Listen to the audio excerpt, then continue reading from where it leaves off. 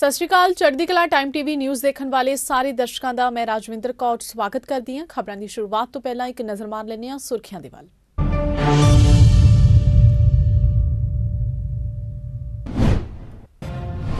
ਝਾਰਖੰਡ ਤੋਂ ਅੱਜ ਰੋਪੜ ਪਹੁੰਚੇਗਾ ਕੋਲਾ। ਝਾਰਖੰਡ 'ਚ ਮੁੜ ਸ਼ੁਰੂ ਹੋਈ ਪੰਜਾਬ ਦੀ ਕੋਲੇ ਦੀ ਖਾਨ। ਕੋਲੇ ਨਾਲ ਲੱਦੀ ਪਹਿਲੀ ਟ੍ਰੇਨ ਪਹੁੰਚੇਗੀ ਪੰਜਾਬ।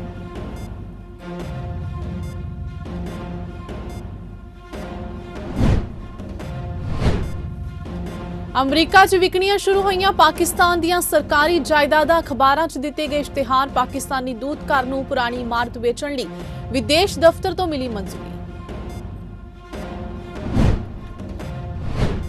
ਜ਼ੀਰਾ ਵਿਖੇ ਇੱਕ ਬੱਚੇ ਦੇ ਅੰਨੇ ਕਤਲ ਦੀ ਗੁੱਥੀ ਨੂੰ ਪੁਲਿਸ ਨੇ ਸੁਲਝਾਇਆ। ਪੁਲਿਸ ਨੇ ਮ੍ਰਿਤਕ ਦੇ ਜੀਜੇ ਨੂੰ ਕੀਤਾ ਗ੍ਰਿਫਤਾਰ।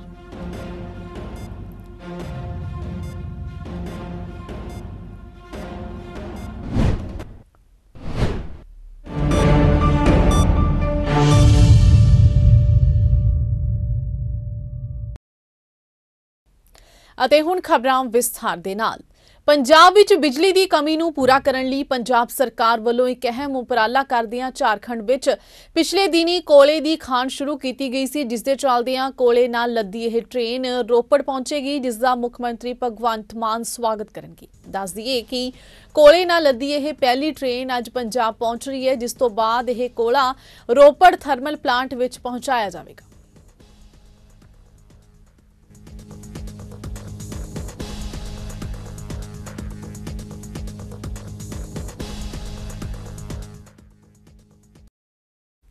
ਪਾਕਿਸਤਾਨ 'ਚ ਇਸ ਸਾਲ ਆਏ ਭਿਆਨਕ ਹੜ੍ਹ ਦੇ ਬਾਅਦ ਤੋਂ ਉਸ ਦੀ ਆਰਥਿਕ ਸਥਿਤੀ ਖਰਾਬ ਹੁੰਦੀ ਜਾ ਰਹੀ ਹੈ।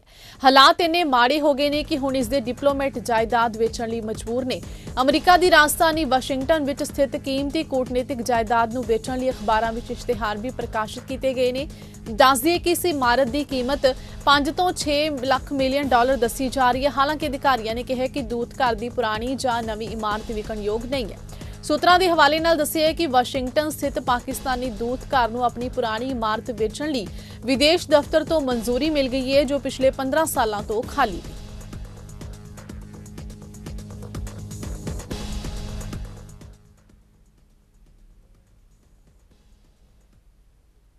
ਛੱਤੀਸਗੜ੍ਹ ਦੇ ਦੁਰਗ ਜ਼ਿਲ੍ਹੇ 'ਚ ਵੰਦੇ ਭਾਰਤ ਐਕਸਪ੍ਰੈਸ ਤੇ ਪਥਰਾ ਕੀਤਾ ਗਿਆ। ਇਸ ਦੌਰਾਨ ਕਿਸੇ ਦੇ ਜ਼ਖਮੀ ਹੋਣ ਦੀ ਸੂਚਨਾ ਤਾਂ ਨਹੀਂ ਮਿਲੀ, ਪਰ ਰੇਲ ਗੱਡੀ ਦੀਆਂ ਬਾਰੀਆਂ ਨੁਕਸਾਨੀਆਂ ਗਈਆਂ। ਪਥਰਾ ਕਰਨ ਵਾਲਿਆਂ ਦੀ ਪਛਾਣ ਨਹੀਂ ਹੋ ਸਕੀ ਤੇ ਨਾ ਹੀ ਪਥਰਾ ਕਰਨ ਦਾ ਕੋਈ ਕਾਰਨ ਸਾਹਮਣੇ ਆਇਆ। ਘਟਨਾ ਦੀ ਸੂਚਨਾ ਸਾਂਝੀ ਕਰਦੇ ਰੇਲਵੇ ਵਿਭਾਗ ਦੇ ਅਧਿਕਾਰੀਆਂ ਨੇ ਦੱਸਿਆ ਕਿ ਅਣਪਛਾਤੇ ਲੋਕਾਂ ਨੇ ਦੱਖਣ ਪੂਰਬੀ ਮੱਧ ਰੇਲਵੇ ਦੇ ਦੀਨ ਰਾਏਪੁਰ ਰੇਲਵੇ ਡਿਵੀਜ਼ਨ ਦੇ ਦੁਰਗ ਤੇ ਭਿਲਾਈ ਨਗਰ ਰੇਲਵੇ ਸਟੇਸ਼ਨਾਂ ਦੇ ਵਿਚਕਾਰ ਵੰਦੇ ਭਾਰਤ ਐਕਸਪ੍ਰੈਸ ਤੇ ਪਥਰਾ ਕੀਤਾ। ਉਹਨਾਂ ਦੱਸਿਆ ਕਿ ਵੰਦੇ ਭਾਰਤ ਐਕਸਪ੍ਰੈਸ ਨਾਗਪੁਰ ਤੋਂ ਬਿਲਾਸਪੁਰ ਲਈ ਰਵਾਨਾ ਹੋਈ ਸੀ ਜਦੋਂ ਰੇਲ ਗੱਡੀ ਦੁਰਗ ਤੇ ਭਿਲਾਈ ਨਗਰ ਸਟੇਸ਼ਨਾਂ ਤੇ ਪਹੁੰਚੀ ਤਾਂ ਕੁਝ ਲੋਕਾਂ ਨੇ ਉਸ ਤੇ ਪਥਰਾ ਕੀਤਾ। ਇਸ ਕਾਰਨ E1 ਕੋਚ ਦੀ ਖਿੜਕੀ ਨੂੰ ਨੁਕਸਾਨ ਪਹੁੰਚਿਆ। ਇਸ ਘਟਨਾ 'ਚ ਕਿਸੇ ਦੇ ਜ਼ਖਮੀ ਹੋਣ ਦੀ ਕੋਈ ਸੂਚਨਾ ਨਹੀਂ ਹੈ।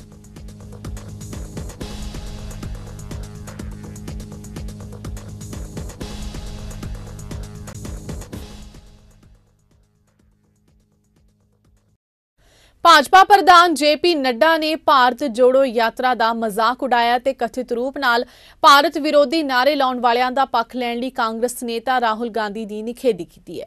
ਉਹਨਾਂ ਕਿਹਾ ਕਿ ਇਹ ਭਾਰਤ ਜੋੜੋ ਯਾਤਰਾ ਨਹੀਂ ਹੈ, ਸਗੋਂ ਭਾਰਤ ਤੋੜੋ ਯਾਤਰਾ ਹੈ। ਇਹ ਪਛਤਾਵਾ ਯਾਤਰਾ ਵੀ ਹੈ ਕਿਉਂਕਿ ਰਾਹੁਲ ਗਾਂਧੀ ਦੇ ਪੂਰਵਜਾਂ ਨੇ ਭਾਰਤ ਨੂੰ ਵੰਡਣ ਵਿੱਚ ਕੋਈ ਕਸਰ ਨਹੀਂ ਛੱਡੀ ਸੀ। ਉਹਨਾਂ ਕਿਹਾ ਕਿ ਕਰਨਾਟਕ ਵਿੱਚ ਕਾਂਗਰਸ ਭਾਈਚਾਰਿਆਂ ਨੂੰ ਵੰਡ ਰਹੀ ਹੈ ਤੇ ਵਿਕਾਸ ਬਾਰੇ ਕੁਝ ਨਹੀਂ ਜਾਣਦੀ।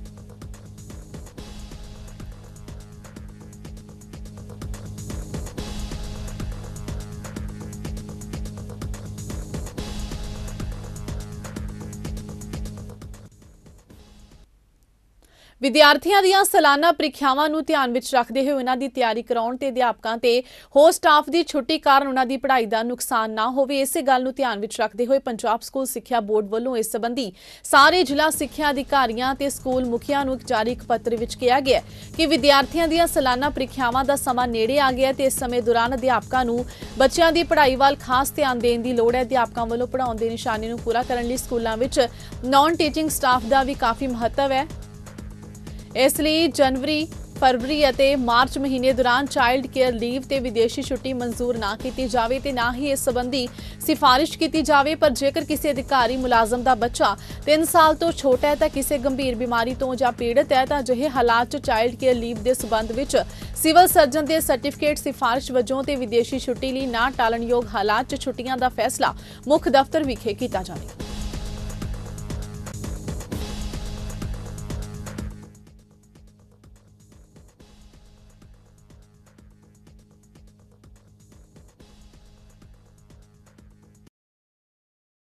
ਪਾਕਿਸਤਾਨ ਤੋਂ ਉੱਜੜ ਕੇ ਲਤੀਫਪੁਰਾ ਚ ਕੇ ਵਸੇ ਲੋਕਾਂ ਦੇ ਘਰਾਂ ਨੂੰ ਢਾਉਣ ਦਾ ਮਾਮਲਾ ਪੰਜਾਬ ਸਰਕਾਰ ਲਈ ਗਲੇ ਦੀ ਹੱਡੀ ਬਣਦਾ ਜਾ ਰਿਹਾ ਹੈ। ਇੰਪਰੂਵਮੈਂਟ ਟਰਸਟ ਜ਼ਿਲ੍ਹਾ ਪ੍ਰਸ਼ਾਸਨ ਤੇ ਕਮਿਸ਼ਨਰੇਟ ਪੁਲਿਸ ਵੱਲੋਂ ਆਪਰੇਸ਼ਨ ਡਿਮੋਲਿਸ਼ ਦੀ ਕਾਰਵਾਈ ਤੋਂ ਬਾਅਦ ਅੱਜ ਵੀ ਲਤੀਫਪੁਰਾ ਦੇ ਲੋਕਾਂ ਦਾ ਧਰਨਾ 7ਵੇਂ ਦਿਨ ਵੀ ਜਾਰੀ ਰਿਹਾ ਤੇ ਅੱਜ ਵੀ ਕਈ ਸਮਾਜ ਸੇਵੀ ਸੰਸਥਾਵਾਂ, ਕਿਸਾਨ ਜਥੇਬੰਦੀਆਂ ਨੇ ਮੌਕੇ ਤੇ ਪਹੁੰਚ ਕੇ ਪੀੜਤ ਲੋਕਾਂ ਨਾਲ ਹਮਦਰਦੀ ਪ੍ਰਗਟਾਈ ਤੇ ਆਮ ਆਦਮੀ ਪਾਰਟੀ ਦੀ ਸਰਕਾਰ ਨੂੰ ਜੰਮ ਕੇ ਕੋਸਿਆ। ਇਸੇ ਵਿਚਾਲੇ ਖਾਲਸਾ ਏਡ ਨੇ ਠੰਡ ਦੇ ਮੌਸਮ 'ਚ ਖੁੱਲੇ 'ਚ ਰਹਿਣ ਲਈ ਮਜਬੂਰ ਲੋਕਾਂ ਲਈ ਟੈਂਟ ਤੇ ਭੋਜਨ ਦਾ ਪ੍ਰਬੰਧ ਕੀਤਾ ਹੈ। ਇਸ ਤੋਂ ਇਲਾਵਾ ਕਈ ਧਾਰਮਿਕ ਤੇ ਸਮਾਜਿਕ ਸੰਸਥਾਵਾਂ ਦੀ ਲੋਕਾਂ ਦੀ ਮਦਦ ਦੇ ਲਈ ਅੱਗੇ ਆਈਆਂ ਨੇ। ਬੇਘਰ ਲੋਕਾਂ ਲਈ ਆਰਜ਼ੀ ਟੈਂਟ ਲਾਉਣ ਤੋਂ ਬਾਅਦ ਹੁਣ ਬੇਜ਼ੁਬਾਨ ਪਸ਼ੂਆਂ ਨੂੰ ਵੀ ਠੰਡ ਤੋਂ ਬਚਾਉਣ ਲਈ ਟੈਂਟਾਂ ਦਾ ਪ੍ਰਬੰਧ ਕੀਤਾ ਜਾ ਰਿਹਾ ਹੈ।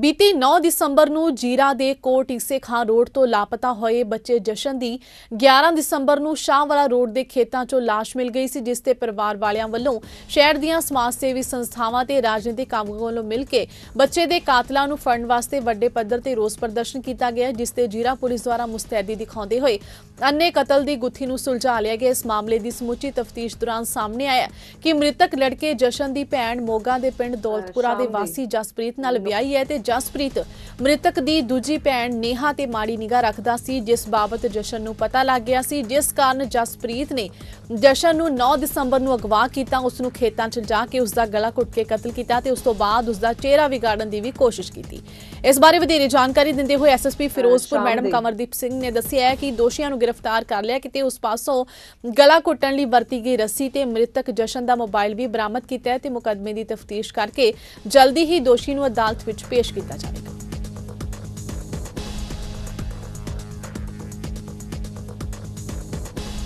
ਸ਼ਾਮ ਦੇ 9 ਵਜੇ ਦੇ ਆਸ-ਪਾਸ ਸਾਨੂੰ ਇਨਫੋਰਮੇਸ਼ਨ ਮਿਲੀ ਕਿ ਉਹ ਬੱਚਾ ਨਹੀਂ ਮਿਲ ਰਿਹਾ। ਪੁਲਿਸ ਨੇ ਪੂਰੀ ਮੁਸਤੈਦੀ ਦਿਖਾਉਂਦੇ ਹੋਏ ਉਸੇ ਵਕਤ ਉਹਨਾਂ ਦੀ ਰਪਟ ਦਰਜ ਕੀਤੀ ਤੇ ਬੱਚੇ ਦੀ ਭਾਲ ਸ਼ੁਰੂ ਕੀਤੀ। ਅਤੇ 3 ਦਿਨ ਦੀ ਮਿਹਨਤ ਤੋਂ ਬਾਅਦ ਸਾਨੂੰ ਹੁਣ ਰਿਜ਼ਲਟ ਜਿਹੜਾ ਹੈ, ਹੱਥ ਲੱਗਿਆ ਹੈ। ਜਸਪ੍ਰੀਤ ਨਾਮ ਦਾ ਬੰਦਾ ਜੋ ਕਿ ਇਸ ਬੱਚੇ ਦਾ ਜੀਜਾ ਸੀ, ਉਹਨੇ ਇਸ ਬੱਚੇ ਦਾ ਮਰਡਰ ਕੀਤਾ। ਵਜ੍ਹਾ ਇਹ ਸੀ ਕਿ ਜਸਪ੍ਰੀਤ ਦੀ ਆਪਣੀ ਛੋਟੀ ਸਾਲੀ ਨਾਲ ਕੁਝ ਇਲਿਸਿਟ ਰਿਲੇਸ਼ਨ ਸੀ। ਜਿਹਦਾ ਇਸ ਬੱਚੇ ਜਸ਼ਨ ਨੂੰ ਪਤਾ ਲੱਗ ਗਿਆ ਸੀ ਤੇ ਉਹ ਇਹਨਾਂ ਨੂੰ ਰੋਕਦਾ ਸੀ। ਉਹਨੂੰ ਆਪਣੇ ਰਾਹ ਤੋਂ ਹਟਾਉਣ ਲਈ ਜਸਪ੍ਰੀਤ ਸਿੰਘ ਨੇ ਇਹ ਸਾਰਾ ਮਰਡਰ ਜਿਹੜਾ ਪਲਾਨ ਕੀਤਾ। ਇਸ ਬੰਦੇ ਨੇ ਬੱਚੇ ਦਾ ਮਰਡਰ ਕੁਝ ਦਿਨ ਪਹਿਲੇ ਵੀ ਇਹ ਪਲਾਨ ਕੀਤਾ। ਪੂਰੀ ਪ੍ਰੋਪਰ ਪਲੈਨਿੰਗ ਨਾਲ ਮੌਕਾ ਲੱਭ ਕੇ ਬੱਚੇ ਨੂੰ ਕਿਸੇ ਚੀਜ਼ ਦਵਾਉਣ ਦਾ ਲਾਲਚ ਦੇ ਕੇ ਇਹ ਇਹਨੂੰ ਘਰੋਂ ਬੱਚੇ ਨੂੰ ਲੈ ਕੇ ਗਿਆ। ਉੱਥੋਂ ਲਿਜਾਣ ਦੇ 1-2 ਘੰਟੇ 'ਚ ਹੀ ਇਹਨੇ ਉਹਦਾ ਮਰਡਰ ਕਰਤਾ ਤੇ ਉਸ ਤੋਂ ਬਾਅਦ ਵਾਪਸ ਘਰ ਆ ਗਿਆ ਤੇ ਇਹਨੇ ਕਿਸੇ ਨੂੰ ਕੁਝ ਨਹੀਂ ਦੱਸਿਆ। ਫਿਰੋਜ਼ਪੁਰ ਦੇ ਹਲਕਾ ਜੀਰਾ ਦੇ ਪਿੰਡ ਮਨਸੂਰਵਾਲ ਵਿਖੇ ਚੱਲ ਰਹੀ ਸ਼ਰਾਬ ਫੈਕਟਰੀ ਦਾ ਮਾਮਲਾ ਭਖਦਾ ਜਾ ਰਿਹਾ ਹੈ। ਜਿਸ ਨੂੰ ਲੈ ਕੇ ਜ਼ਿਲ੍ਹਾ ਪ੍ਰਸ਼ਾਸਨ ਲਗਾਤਾਰ ਧਰਨੇ ਤੇ ਬੈਠੇ ਲੋਕਾਂ ਨੂੰ ਅਪੀਲ ਕਰ ਰਿਹਾ ਹੈ ਕਿ ਧਰਨਾ ਚੁੱਕ ਦਿੱਤਾ ਜਾਵੇ।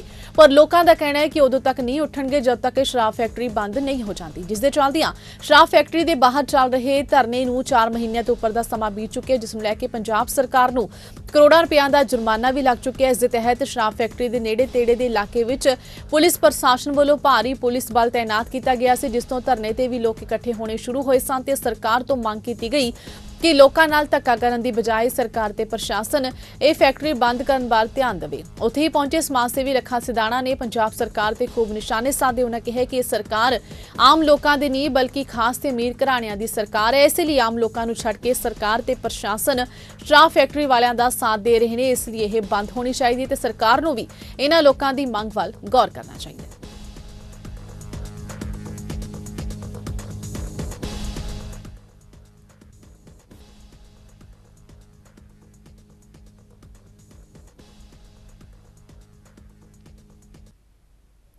ਪੰਜਾਬ ਦੀ ਸਕੂਲ ਸਿੱਖਿਆ ਵਿੱਚ ਕ੍ਰਾਂਤੀਕਾਰੀ ਤਬਦੀਲੀ ਲਿਆਉਣ ਤੇ ਸਿੱਖਿਆ ਨੂੰ ਸਮੇਂ ਦੇ ਹਾਣੀ ਬਣਾਉਣ ਵਾਸਤੇ ਦਿੱਲੀ ਦੇ ਉਪ ਮੁੱਖ ਮੰਤਰੀ ਮਨੀਸ਼ ਸਿਸੋਦੀਆ ਤੇ ਪੰਜਾਬ ਦੇ ਸਿੱਖਿਆ ਮੰਤਰੀ ਹਰਜੋਤ ਬੈਂਸ ਦੀ ਟੀਮ ਨੇ ਮੋਰਚਾ ਸੰਭਾਲ ਲਿਆ। ਆਮ ਆਦਮੀ ਪਾਰਟੀ ਵੱਲੋਂ ਪੰਜਾਬ ਦੇ ਲੋਕਾਂ ਨੂੰ ਬਿਹਤਰ ਸਕੂਲ ਸਿੱਖਿਆ ਮੁਹੱਈਆ ਕਰਾਉਣ ਦੇ ਕੀਤੇ ਵਾਅਦੇ ਨੂੰ ਅਮਲੀਆਮਾ ਪਹਿਨਾਉਂਦਿਆਂ ਸਿਸੋਦੀਆ ਤੇ ਬੈਂਸ ਨੇ ਸਵੇਰੇ ਸਕੂਲ ਖੁੱਲਣ ਸਮੇਂ ਹੀ ਅੰਮ੍ਰਿਤਸਰ ਦੇ ਸਰਕਾਰੀ ਸੀਨੀਅਰ ਸੈਕੰਡਰੀ ਸਕੂਲ ਛਰੇਟਾ ਵਿਖੇ ਦਸਤਕ ਦਿੱਤੀ। ਉਹਨਾਂ ਇਹ ਦੌਰਾ ਪਹਿਲਾਂ ਪੂਰੀ ਤਰ੍ਹਾਂ ਗੁਪਤ ਰੱਖਿਆ ਸੀ ਤੇ ਕਿਸੇ ਵੀ ਜ਼ਿਲ੍ਹਾ ਅਧਿਕਾਰੀ ਨੂੰ ਇਸ ਦੀ ਭਿਣਕ ਨਹੀਂ ਪੈਣ ਦਿੱਤੀ। ਇਸ ਦੌਰੇ ਦਾ ਦਿਲਚਸਪ ਪਹਿਲੂ ਇਹ ਸੀ ਕਿ ਸਾਰੀ ਟੀਮ ਨੇ ਸਕੂਲ ਅਧਿਆਪਕਾਂ ਤੇ ਬੱਚਿਆਂ ਨਾਲ ਵੱਖਰੇ-ਵੱਖਰੇ ਤਰੀਕਿਆਂ ਦੇ ਨਾਲ ਗੱਲਬਾਤ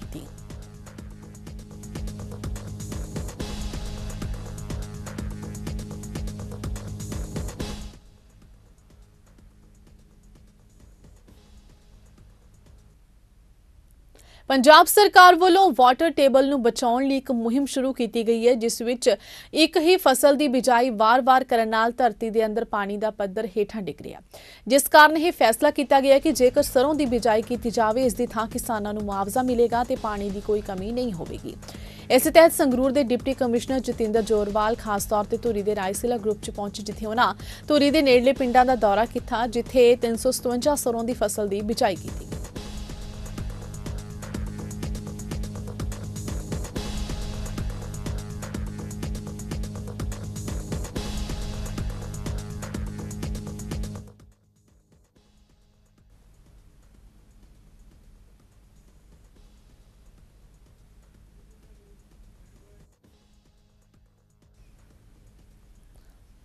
ਜ਼ਿਲ੍ਹਾ ਗੁਰਦਾਸਪੁਰ ਦੇ ਕਸਬਾ ਕਾਨੂੰਵਾਨ ਤੋਂ ਇੱਕ ਮਾਮਲਾ ਸਾਹਮਣੇ ਆਇਆ ਹੈ, ਜਿੱਥੇ ਇੱਕ ਵੱਡੇ ਕਾਰੋਬਾਰੀ ਗੁਰਮੀਤ ਸਿੰਘ ਤੇ ਉਸਦੇ ਪਰਿਵਾਰ ਨੇ ਪੰਜਾਬ ਵਿੱਚ ਆਪਣੇ ਆਪ ਨੂੰ ਤੇ ਆਪਣੇ ਕਾਰੋਬਾਰ ਨੂੰ ਅਸੁਰੱਖਿਅਤ ਦੱਸਦੇ ਹੋਏ ਦੇਸ਼ ਛੱਡਣ ਦਾ ਖੁਲਾਸਾ ਕੀਤਾ ਹੈ। ਕਾਨੂੰਵਾਨ ਵਿਖੇ ਖਾਦ ਤੇ ਕੀਟਨਾਸ਼ਕ ਦਵਾਈਆਂ ਦੀ ਦੁਕਾਨ ਚਲਾ ਰਹੇ ਗੁਰਮੀਤ ਸਿੰਘ ਨੇ ਦੱਸਿਆ ਕਿ ਉਸ ਦੀ ਦੁਕਾਨ ਤੇ ਕੁਝ ਕਰਿੰਦੇ ਕੰਮ ਕਰਦੇ ਨੇ, ਉਹਨਾਂ ਚੋਂ ਇੱਕ ਕਰਿੰਦਾ, ਜਿਸ ਤੇ ਉਹਨਾਂ ਨੂੰ ਦੁਕਾਨ ਵਿੱਚੋਂ ਚੋਰੀ ਕਰਨ ਦਾ ਸ਼ੱਕ ਸੀ। ਗੁਰਮੀਤ ਸਿੰਘ ਨੇ ਦੱਸਿਆ ਕਿ ਬੀਤੇ ਦਿਨੀ ਉਸਨੇ ਆਪਣੇ ਕਰਿੰਦੇ ਨੂੰ ਦੁਕਾਨ ਵਿੱਚ ਚੋਰੀ ਕੀਤੇ, ਸਮਾਨ ਸਮੇਤ ਕਾਬੂ ਕੀਤਾ ਤੇ ਉਸ ਨੂੰ ਕਾਨੂੰਵਾਨ ਦੀ ਪੁਲਿਸ ਦੇ ਹਵਾਲੇ ਕੀਤਾ ਤੇ ਜਦੋਂ ਉਹ ਪੁਲਿਸ ਥਾਣਾ ਕਾਨੂੰਵਾਨ ਨੂੰ ਕੀਤੀ ਕਾਨੂੰਨੀ ਕਾਰਵਾਈ ਬਾਰੇ ਪਤਾ ਕਰਨ ਲਈ ਗਿਆ ਤਾਂ ਉਸਨੇ ਇੱਕ ਪੁਲਿਸ ਵੱਲੋਂ ਉਲਟਾ ਥਾਣੇ ਵਿੱਚ ਲਿਆਂਦੇ ਵਿਅਕਤੀ ਵੱਲੋਂ ਗੁਰਮੀਤ ਸਿੰਘ ਦੇ ਉੱਪਰ ਤਸ਼ੱਦਦ ਕਰਨ ਦੇ ਦੋਸ਼ ਲਾਏ ਗਏ। ਥਾਣਾ ਮੁਖੀ ਵੱਲੋਂ ਉਸ ਨੂੰ ਇਸ ਮਾਮਲੇ ਵਿੱਚ ਰਾਜ਼ੀਨਾਮਾ ਕਰਨ ਦਾ ਦਬਾਅ ਵੀ ਬਣਾਇਆ ਗਿਆ।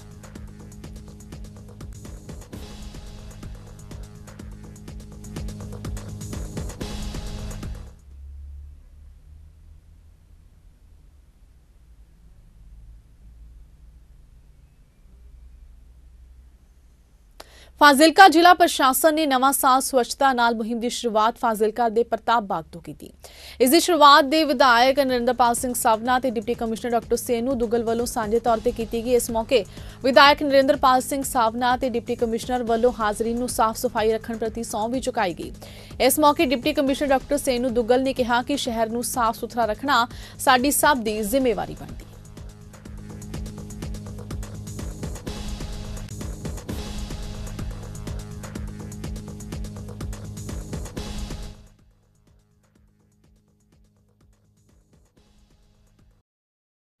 ਬੀਬੀ ਕੌਲਾਂ ਜੀ, ਭਲਾਈ ਕੇਂਦਰ ਅੰਮ੍ਰਿਤਸਰ ਵਿਖੇ ਹਫਤਾਵਾਰੀ ਕੀਰਤਨ ਸਮਾਗਮ ਦਾ ਆਯੋਜਨ ਕੀਤਾ ਗਿਆ, ਜਿਸ ਵਿੱਚ ਭਾਈ ਸਾਹਿਬ, ਭਾਈ ਗੁਰਿਕਬਾਜ ਸਿੰਘ, ਭਾਈ ਹਰਿੰਦਰਪਾਲ ਸਿੰਘ, ਲਿਟਲਵੀਰ ਜੀ ਨੇ ਕੀਰਤਨ ਕਰਕੇ ਸੰਗਤਾਂ ਨੂੰ ਨਿਹਾਲ ਕੀਤਾ।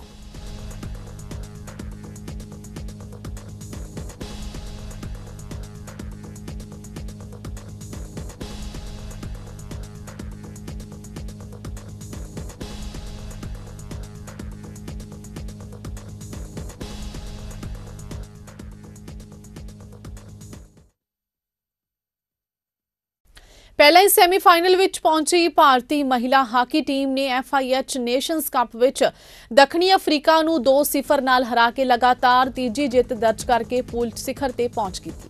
ਭਾਰਤ ਲਈ ਦੀਪ ਗ੍ਰੇਸੇਕਾ ਨੇ 14ਵੇਂ ਮਿੰਟ ਅਤੇ ਗੁਰਜੀਤ ਕੌਰ ਨੇ 59ਵੇਂ ਮਿੰਟ ਵਿੱਚ ਗੋਲ ਕੀਤੇ। ਇਸ ਨਾਲ ਟੀਮ ਪੂਲ ਬੀ ਦੇ ਸਾਰੇ ਮੈਚ ਜਿੱਤਣ ਵਿੱਚ ਸਫਲ ਰਹੀ।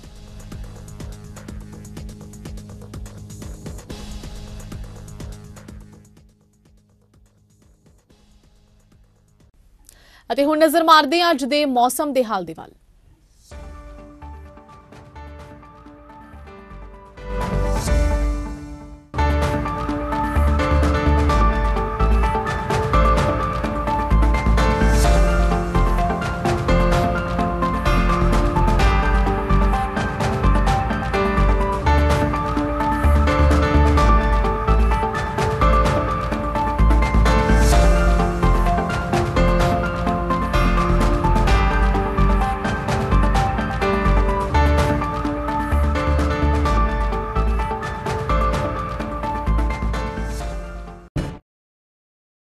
ਇਸ ਦੇ ਨਾਲ ਹੀ ਖਬਰਾਂ ਦਾ ਸਿਲਸਿਲਾ ਇੱਥੇ ਸਮਾਪਤ ਹੁੰਦਾ ਹੈ। ਨਵੀਆਂ ਤੇ ਤਾਜ਼ਾ ਖਬਰਾਂ ਦੇ ਨਾਲ ਫਿਰ ਹਾਜ਼ਰ ਹੋਵਾਂਗੇ। ਤਦ ਤੱਕ ਲਈ ਦਿਓ ਇਜਾਜ਼ਤ। ਧੰਨਵਾਦ।